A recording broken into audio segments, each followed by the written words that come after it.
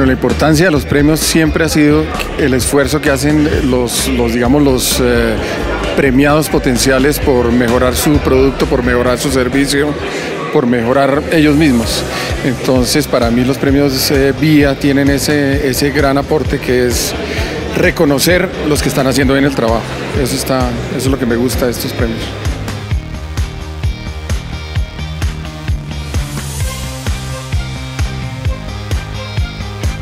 Pues yo creo que falta todavía, falta sobre todo en vehículos de entrada, en marcas de entrada, las que conocen como marcas populares, todavía digamos no están haciendo la tarea completa, pero yo creo que lo que dijo la ministra hoy, más este tipo de iniciativas de la empresa privada, puede motivar mucho más a las marcas a ponerse las pilas con ese tipo de cosas.